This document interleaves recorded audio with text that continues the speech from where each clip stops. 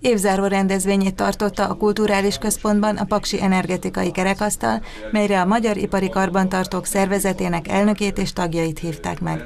Nyeste Zsolt, a szervezet elnöke szerint az ipari karbantartás a nemzetgazdaság szempontjából fontos, de nem kapja meg a kellő hangsúlyt, ezért megpróbálnak minél több helyre eljutni és felhívni erre a területre a figyelmet. Szeretném bemutatni azt, hogy Magyarországon igenis vannak karbantartói potenciálok, kis- és középvállalatok, illetve ne felejtsük el, hogy hamarosan, ha tervek megvalósulnak, egy második blokkegység is meg fog épülni, és már a kivitelezésnél, a tervezésnél vegyék figyelembe, hogy Magyarországon meg kell lépülni azoknak a háttér karbantartói struktúráknak, amik majd a későbbi üzemeltetés során szükségesek lehetnek. Bízik benne, hogy a Paks 2 építése során lesz erre fogadókészség.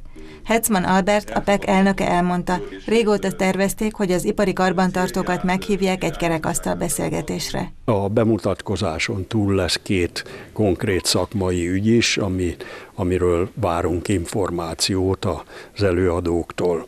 Az egyik a modern kenőanyag diagnosztika és a költségtakarékos kenőanyag felhasználás nyilván a komoly diagnosztikai háttérrel alátámasztva, és a másik pedig ugye a digitalizáció az az élet minden területén száguld előre, így a karbantartásnál is e, már e, komoly e, komoly teret nyert, és arról fogunk hallani egy összeállítást. Következő programját január végére tervezi az energetikai kerekasztal, több témát is szeretnének majd 2019 első negyedévében napirendre venni, ilyen például a műszaki megbízhatóság és az elmobilitás kérdése.